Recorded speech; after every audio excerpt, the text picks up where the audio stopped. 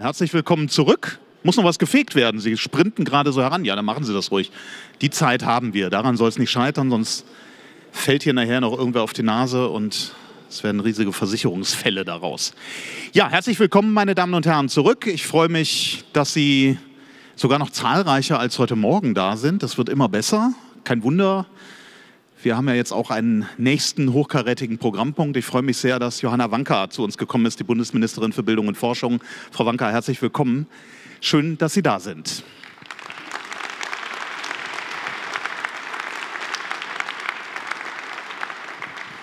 Es passt auch deshalb so gut, weil Sie ja diejenige sind, die, wenn man sich die Themenkonjunktur dieses Themenpakets Bildung, Digitalisierung anschaut, zumindest so im letzten halben Jahr, in diesem Herbst, ein bisschen den politischen Aufschlag gemacht haben mit der Ankündigung des Digipakts.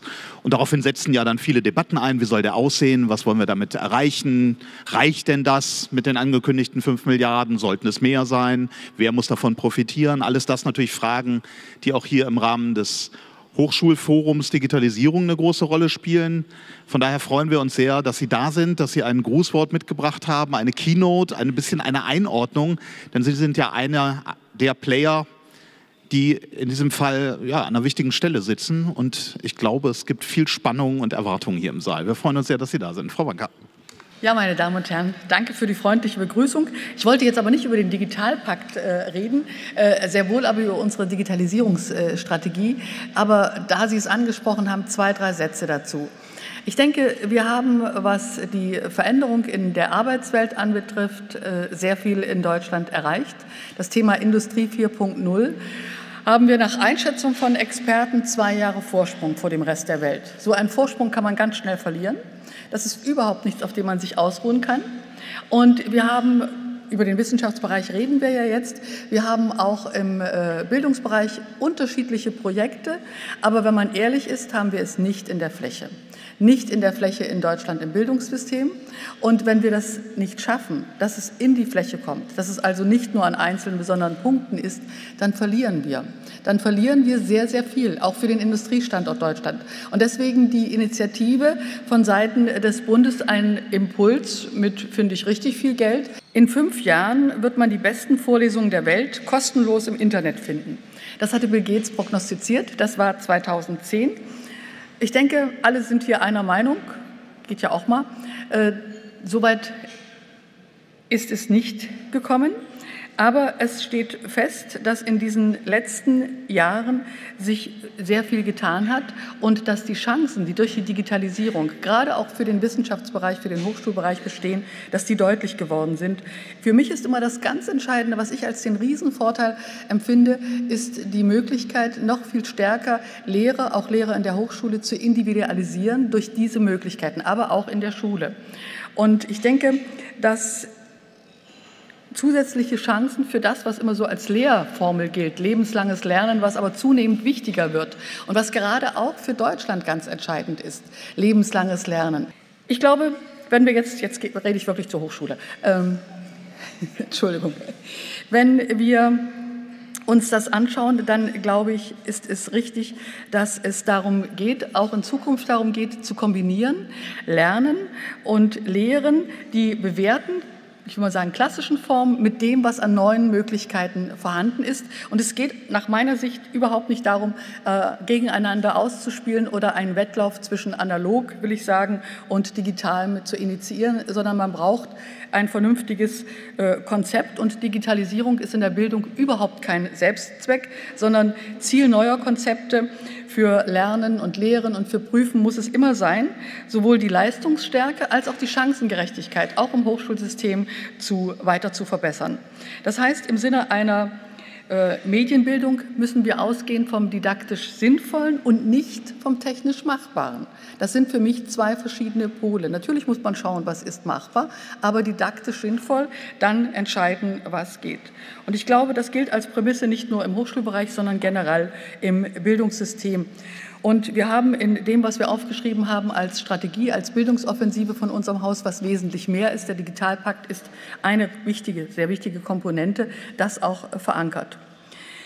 Wie verändert die Digitalisierung den Lernort Hochschule und wie gelingt Digitalisierung am besten? Das waren die Ausgangsfragen, die bei dem Hochschulforum Digitalisierung Anfang 2014 gestellt wurden und wo inzwischen rund 70 Experten Antworten gefunden, Antworten gegeben haben, sehr differenzierte, auch zum Teil sehr unterschiedliche Antworten in Workshops, auf Plattformen, in verschiedenen Veranstaltungen. Und der Abschlussbericht liegt heute vor und ich glaube, er bietet eine sehr aufschlussreiche Zusammenfassung für eben eben auch die Diskussion, die Debatten heute hier und dann in Zukunft. Und ich denke, in diesen wenigen Jahren hat sich in der Hochschulpolitik, aber auch in den Hochschulen vieles bei dem Thema bewegt. Und wenn man sich das heute anschaut, dann glaube ich, kann man sagen, dass die Digitalisierung an den Hochschulen weltweit Fahrt aufgenommen hat aber Hochschullehrer eben nicht mehr äh, nur bedeutet, wie das vielleicht noch vor 10, 15 Jahren war, eine Online-Anmeldung für Kurse, ein Herunterladen von PowerPoint-Geschichten, sondern sehr viel mehr. Ob nun Lehrvideos, individualisierte Aufgaben, aber eben auch ähm, die äh, MOOCs. Die Möglichkeiten sind sehr vielfältig und wir haben die amerikanischen und die asiatischen Hochschulen, die darauf sehr viel stärker setzen, die dort auch sehr viel stärker schon in der Umsetzung sind, was digitale Lehrumgebungen, digitale Lernumgebungen anbetrifft. Und es gibt bereits Institute, die Vorlesungen und Prüfungen ausschließlich im Netz verfügbar machen. Die äh, Online-Akademie UCT ist ein Beispiel. Die wurde übrigens von einem gebürtigen Deutschen, das ist ja oft so, äh, gegründet, der dann in Stanford Professor war, Sebastian Truhn, und betreut drei Millionen Studierende weltweit. Wobei, als das losging mit den MOOCs, hatten wir so Debatten, dass das unser ganzes Hochschulsystem total verändert, dass das überhaupt nicht mehr Bestand hat, was bisher ist. Das hat sich so nicht realisiert. Das hat sich auch in den USA nicht so realisiert. Und ich glaube, weil sozusagen die ähm, Idee, dass die Geschäftsidee dahinter nicht vorhanden war. Aber diese MOOCs haben natürlich unwahrscheinliche Wirkung, wenn es zum Beispiel darum geht, ähm, im indischen Bereich Talente anzuziehen oder anderes. Also es ist für mich ein Beispiel, dass nicht alles, was man im ersten Moment denkt, radikal sich verändert, dass es aber schon ähm, wichtige, große Vorteile hat, wo wir auch aufpassen müssen, dass die uns nicht verloren gehen, sondern dass wir die auch nutzen in äh, unserem Bereich. Es wurden und werden Ideen und Konzepte entwickelt und im Hochschulalltag erprobt. Ich nenne mal ein, zwei, drei Beispiele. Zum einen, die sechs öffentlichen Hamburger Hochschulen und das Universitätsklinikum haben zusammen mit Partnern, zum Beispiel mit Multimedia-Kontor oder der Senatskanal in Hamburg, das Projekt einer offenen Online-Universität initiiert in diesen äh, Jahren. Oder Lübeck. Lübeck war ja als Fachhochschule schon in den 90er Jahren, als es äh, losging, dort unter dem Schlagwort virtuelle Hochschule, waren sie von Anfang an Vorreiter, haben äh, sehr viel gearbeitet und äh, bieten an Online-Studiengänge für ausländische, internationale Studierende. Oder die Aachener Hochschule arbeitet in einem virtuellen Raum, in dem eben äh, Doziermethoden, analoge äh, digitale Lern- und Lehrmethoden ausgearbeitet und erprobt werden können. Und ich denke, die Konferenz heute hat auch äh, den Zweck, ähm, sich zu informieren und ähm, andere Konzepte und Projekte kennenzulernen. Und es sind auch Vertreterinnen und Vertreter der Hochschulen hier, die jüngst über das Förderprogramm Curriculum 4.0 des Stifterverbandes und der Karl-Zeiss-Stiftung ausgezeichnet wurden. Und ich habe mir das angeschaut. Das sind schon wirklich sehr, sehr interessante Projekte. Und in Deutschland sind wir ja immer stark darin, Geld zu akquirieren für Projekte. Aber dann, wenn etwas sich bewährt hat, wenn etwas vernünftig ist, das dann auch mal weiterzutragen, da sind wir nicht so gut. Und deswegen äh, glaube ich, dass auch eine solche Veranstaltung da an dieser Stelle nutzen kann. Wir haben also, wenn man jetzt in die Hochschullandschaft schaut, mittlerweile einen bunten Strauß von Möglichkeiten. Das ist lobenswert, aber was man sagen muss, was uns fehlt in Deutschland, ist wirklich ein struktureller, ein flächendeckender Wandel in der Hochschullandschaft insgesamt. Den haben wir nicht und der ist auch nicht ohne weiteres in Sicht. Und ich möchte drei Bereiche ausführen, die durch die Studien des Hochschulforums näher erforscht wurden und die Ergebnisse aufweisen, die man zum Teil nicht so erwartet hat, die, äh, glaube ich, äh, interessant sind und die genutzt werden sollten. Erstens zum allgemeinen Digitalisierungsgrad der deutschen Hochschulen. Ja, da kommt das zum Tragen, was man auch ohne Untersuchung vermutet hätte, dass die Bereitschaft an den Hochschulen unterschiedlich ausgeprägt ist, sich zu verändern und dass das nicht nur bei den Hochschulen unterschiedlich ausgeprägt ist, sondern innerhalb einer Hochschule auch zum Teil von Studiengang zu Studiengang natürlich äh, differenziert. Fast drei Viertel der Hochschulen reichern ihre Lehre bereits durch digitale Elemente an. Über ein Drittel hat einen Blended Learning Ansatz als Leitidee. Und 15 Prozent sehen in der digitalen Lehre kein strategisches Ziel. 15 Prozent, das ist, wenn man das umrechnet, ganz schön viel. Und es gibt zwei Prozent der befragten Hochschulen, die gänzlich auf diese Dinge verzichten und das auch in Zukunft verzichten wollen. Das heißt, wenn man das jetzt kurz zusammenfasst, kann man sagen, dass die deutschen Hochschulen die Digitalisierung aktiv nutzen, aber dass das Groß noch im Experimentieren mit den digitalen Formen des Lernens und Lernens sich befindet. Dabei werden viele Vorteile gesehen bei der Gestaltung von Infrastrukturen wie Campusmanagement, Lernplattformen oder Netzwerke. Wenn es um die Lehre selbst geht, agieren die Hochschulen zurückhaltender Erst 42 Prozent der Hochschulen betrachten die digitale Lehre als Instrument, um eben den Studienerfolg, um die Qualität, um auch Vereinbarkeit von Studium und äh, Familie zu ähm, verbessern, zu erhöhen. Und ich glaube, das ist nicht zufriedenstellend. Wenn sozusagen in dem Kernelement äh, Lehre und Forschung, wenn in der Lehre eine solche große äh, Distanz zu dem Thema besteht und das erscheint vor allen Dingen auch deshalb nicht zufriedenstellend, weil eben schon eine Menge von digitalen Instrumentarien auf dem Markt ist. Das ist verfügbar und das ist auch nicht zufriedenstellend, wenn wir den Blick auf die internationale Szene richten. Und das ist auch nicht ähm, ähm zufriedenstellend, wenn wir an das Thema Arbeitswelt von morgen, Arbeitswelt 4.0 denken, dann kann es nicht sein, dass man so abstinent mit diesem Thema umgeht, in der Erwartung, dass dann, wenn der Ingenieur, der Architekt rausgeht, äh, die Welt plötzlich eine ganz andere ist, in der er sich bewegen muss. Der zweite Punkt, wo das Hochschulforum sich es genauer angeschaut und interessante Ergebnisse hat, ist die Perspektive der Studierenden. Das heißt also, welche Erwartungen haben die Studierenden selbst äh, bei diesem Thema?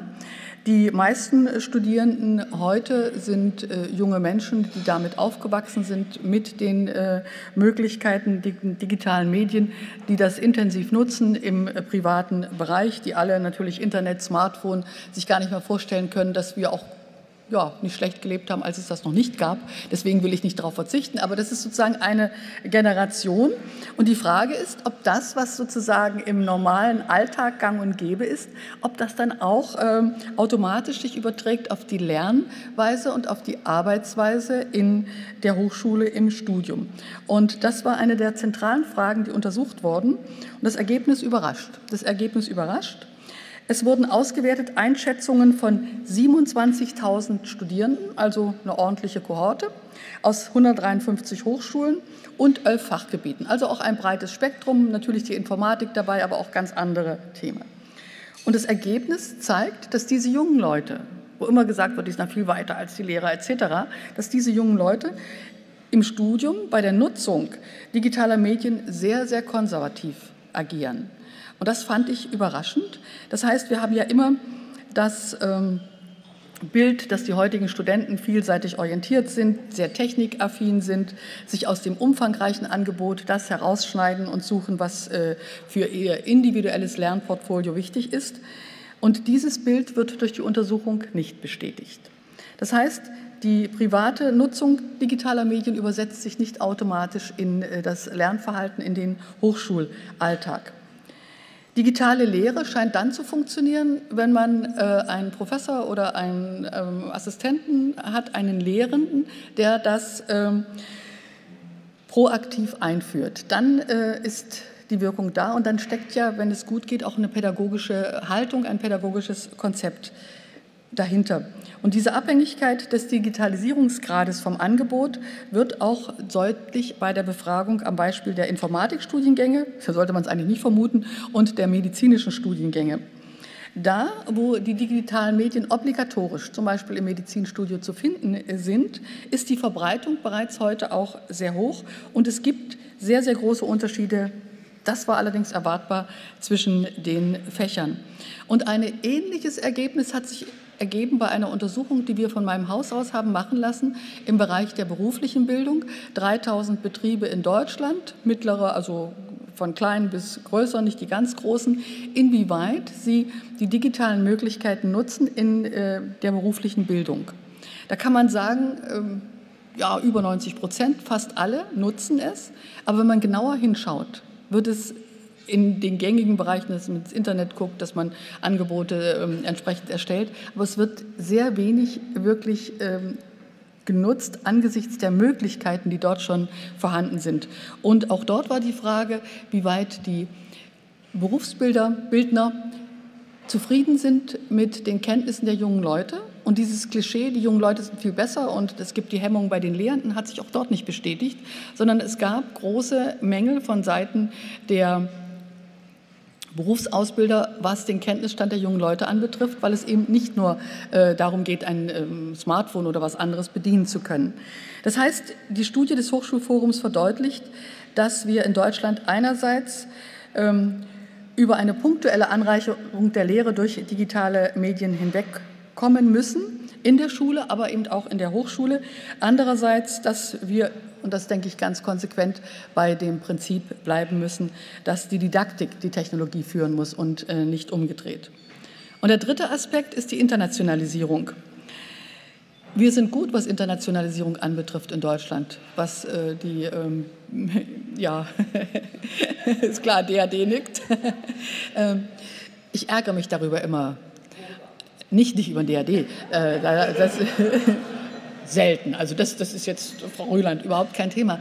Nein, ähm, ich ärgere mich über die Wahrnehmung, auch bei wichtigen Managern in der Wirtschaft, mit denen man zu tun hat. Ähm, lieber Jörg Dreiger, wir hatten doch Situationen Ende der 90er Jahre, wo es wirklich so war, dass wir ständig diese Breitseite abbekommen haben, dass die guten Leute alle weggehen und dass wenig zu uns kommen. Also das war massiv und berechtigt. Dass sich das total geändert hat, das ist bei vielen überhaupt noch nicht angekommen. Da sind viele Faktoren, warum das so ist. Aber die Presse schreibt dann vor nicht allzu langer Zeit, es stagniert, wie viele Studenten ins Ausland gehen. Bei 30 Prozent. Und dazu will ich mal sagen, in den USA sind es 10 Prozent. Ist nicht zu verwunderlich. USA ist groß, da geht man von West nach Ost und muss nicht unbedingt vielleicht das äh, Riesenland verlassen. Aber wenn Sie äh, die Niederlande ansehen, als ein kleines Land, was ja schon immer international äh, agieren musste, die streben an, in den nächsten Jahren auf 20 Prozent zu kommen. Und wir haben jetzt 37 Prozent, die unterschiedlich lang rausgehen. Das heißt, das ist ein sehr klasse Ergebnis. Und äh, deswegen will ich sagen, also Internationalisierung sind wir im Moment auf einem guten Weg. Wir haben uns noch ein bisschen mehr vorgenommen. Jeder zweite ist die Zielzahl Bund und Länder. Und da zeigen die Studien des Hochschulforums, dass die Digitalisierung ganz entscheidend dazu beitragen kann, dass Internationalisierung wirklich ein zentrales Element im Studium wird, weil wenn man die Möglichkeiten hat, wenn man im Ausland ist, dann äh, zum Teil äh, Online-Angebote oder über Online an Prüfungen weiterhin an der äh, Heimathochschule teilzunehmen, dann ist die Bereitschaft natürlich sehr viel größer. Aber auch die, die nicht rausgehen, wenn ich das so lax sagen kann, können interkulturelle Erfahrungen machen über die Möglichkeiten der Digitalisierung. Aber es gibt natürlich auch Grenzen. Das, was ein Auslandsaufenthalt bedeutet in Praxis, kann überhaupt nicht ersetzt werden durch die digitalen Angebote, sondern das ist immer noch eine Qualität, die für das Leben, für auch die berufliche und für die individuelle Entwicklung wichtig ist. Das heißt, die Digitalisierung kann bei der Vorbereitung und bei der Nachbereitung von Auslandsaufenthalten für natürlich nicht nur Studenten, sondern Wissenschaftler enorm wichtig sein und ist dort ein zentrales Element, was uns dazu bewegen sollte, dass man in den Hochschulen die Internationalisierung strategisch mit der Digitalisierung wirklich verbindet. Alle drei Untersuchungen haben die Erkenntnis, dass nicht das umfangreiche im Netz frei verfügbare Angebot digitaler äh, Lernformate so verlockend ist, sondern dass eben die Verbindung mit dem Curriculum, mit dem Lehrenden, der es einführt, der es äh, wertschätzt, die organisatorische Verankerung im Studium, das ist das, was dann wirklich Effekte bringt. Wir brauchen also ein klares Bekenntnis der Hochschulen und ihrer Lehrenden, nicht nur zur fakultativen Anreicherung, wir nutzen ja mal jetzt das und das Video, sondern wirklich zum strukturellen Einsatz moderner digitaler Lernformate in der Hochschulbildung. Auf dem zukünftigen Arbeitsmarkt werden natürlich mehr digitale Kompetenzen gefragt, aber was vor allen Dingen gebraucht wird, ist Orientierungssinn, ist Flexibilität, ist interdisziplinäres Denken, sind Fähigkeiten, damit man wirklich hochgradig vernetzt, auch durch die modernen Möglichkeiten arbeiten kann und damit man dem technologischen Fortschritt nicht hinterherläuft, sondern dort wirklich ähm, auf dem sozusagen auf dem Niveau ist. Wir fördern den digitalen Wandel von Seiten der Bundesregierung im Bildungssystem, damit die Chancen für den Einzelnen gestärkt werden.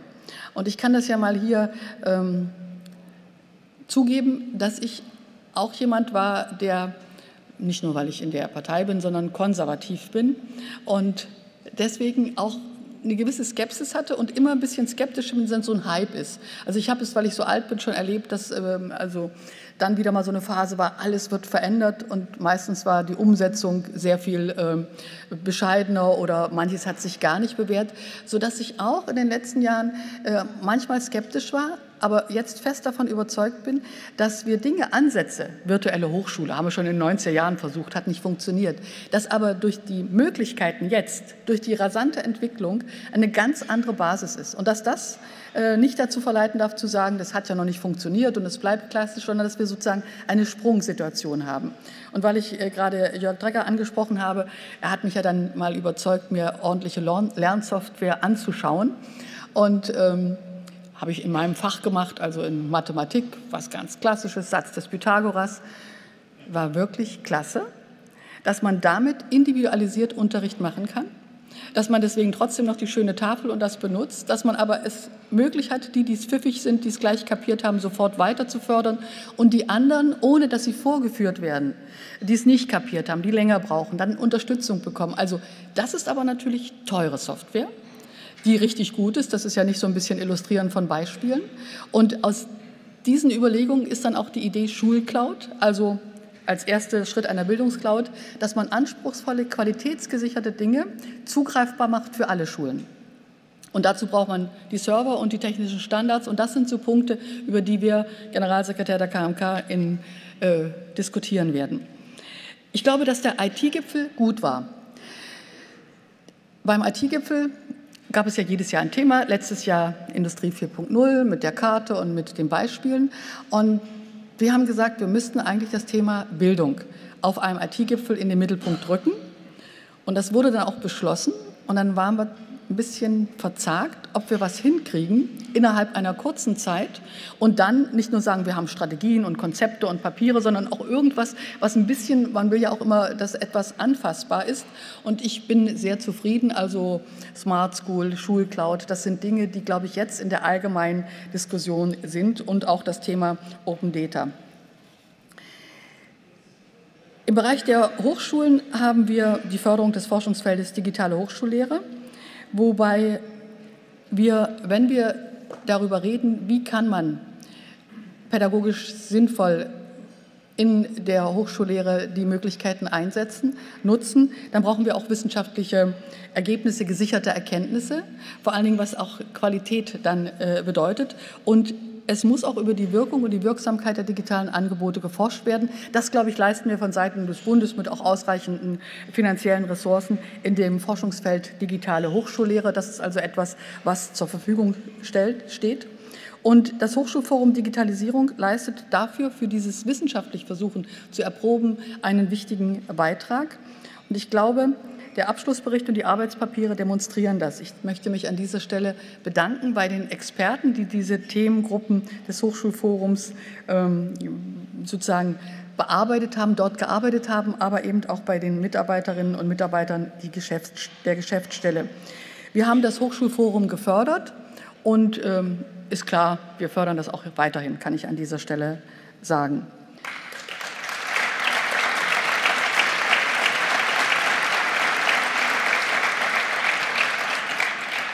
Wir hatten letzten Freitag Abschlusshaushalt, Bundeshaushalt. Und ähm, Sie wissen, dass seit 2005, seit ähm, Angela Merkel Kanzlerin ist, äh, der Etat für Bildung und Forschung jedes Jahr gewachsen ist. Auch in der Finanzkrise, auch in der Wirtschaftskrise. Und das ist in anderen Ländern überhaupt nicht so. Wir reden jetzt nicht über Spanien oder Griechenland, sondern zum Beispiel, wenn man nach Großbritannien schaut, dann sieht man eindeutig, wie sich das verändert hat. Auch in den USA in den Jahren. Die militärische Forschung, das ist äh, okay geblieben, aber in dem anderen Bereich waren es Wellenbewegungen. Und wir haben Jahr für Jahr eine Steigerung.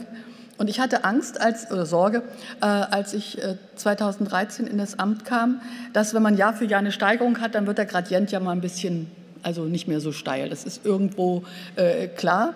Und ähm, ich kann eine sehr schöne Zahl nennen. Wir haben in dieser Legislaturperiode, was mein Etat, also vom Bundesministerium für Bildung und Forschung anbetrifft, eine Steigerung um 27,4 Prozent, also von einem hohen Niveau noch mal mehr als ein Viertel. Deswegen ist Geld trotzdem immer ein Problem, also es könnte noch viel mehr sein, das ist klar. Aber Wichtig ist, wofür setzen wir es ein? Und ich glaube, gerade im Bereich der Hochschulen ist nicht so wie der Digitalpakt, aber das ist ein Thema, wo wir wissen müssen, was sind die Stellen, an denen wirklich vielleicht ein Impuls auch von Seiten des Bundes in den nächsten Jahren äh, notwendig ist. Es geht nicht um irgendwelche Gießkanne, Flächendeckung, sondern es geht darum, was wäre ein Impuls. Beim Digitalpakt denke ich, das ist ein Impuls bundesweit für alle Schulen und im Bereich der Hochschule müssen wir, und da wollen wir auch die Anregungen, die von dieser Tagung aussehen. Es gibt nicht die digitale Hochschule, das ist, glaube ich, trivial angesichts Angesichts der Vielzahl und der breiten Fächerung der Hochschullandschaft müssen die Wege äh, können die sehr unterschiedlich sein. Aber es geht nicht nur darum, autonom überall Insellösungen zu kreieren, sondern wir müssen auch Mindeststandards haben, zum Beispiel wenn wir jetzt über Cloud-Lösungen nachdenken, dass die dann wirklich auch verfügbar sind. Und wir müssen auch glaube ich, ein gemeinsames Verständnis haben, was wir erreichen wollen, weil dann sind wir auch im politischen Verteilungskampf stärker, um die entsprechenden Mittel, die man dafür braucht, zu ähm, akquirieren. Und der Bewusstseinswandel, und da meine ich jetzt nicht die zwei Prozent der Hochschulen, die gesagt haben, interessiert uns nicht und auch nicht die nächsten Jahre, der Bewusstseinswandel, den die Digitalisierung in Wissenschaft und Forschung als eine Riesenchance und nochmal einen Schub zu begreifen, den müssen wir versuchen allgemein zu verankern. Ich glaube, dass wir Mindeststandards und kompatible Prozesse brauchen. Cloud-Lösungen im Hochschulbereich, glaube ich, sollte man auch so in Erwägung ziehen, ohne dass da irgendwas an Autonomie und Flexibilität eingeschränkt wird. Und eine Bitte habe ich gerade auch in der Runde, dass wir nicht so lange darüber diskutieren, wer etwas machen muss, sondern wichtiger ist, was passieren muss. Und dann kann man gucken, wie bekommt man das geregelt. Ähm, zuerst das Wer. Wer finanziert was, sind heillose, lange, ellenlange Diskussionen. Wenn klar ist, was und wenn ein strategischer Ansatz ist, der von vielen getragen wird, dann ist die Chance, auch das Wer zu erreichen, also in dieser Reihenfolge. Und ein ähm, zweiter Punkt, der mir sehr wichtig ist, das ist der Punkt Datenschutz und Datensicherheit. Ich glaube, dass die Empfehlungen vom Rat für Informationsinfrastrukturen, äh, die in dem Punkt äh, angesprochen wurden, es wurde dort thematisiert als rechtspolitisches Schlüsselthema wichtig. Das Thema Datensicherheit ist unterbelichtet in Deutschland, ist in vielen Firmen unterbelichtet. Und wenn ich Ihnen nenne, wie viele Krankenhäuser Hackerangriffe haben, mit Erpressungsgeschichten und anderem, wenn eine große Firma den Hochofen unkontrolliert zurückfahren musste, weil ein Hackerangriff in das System gelungen war.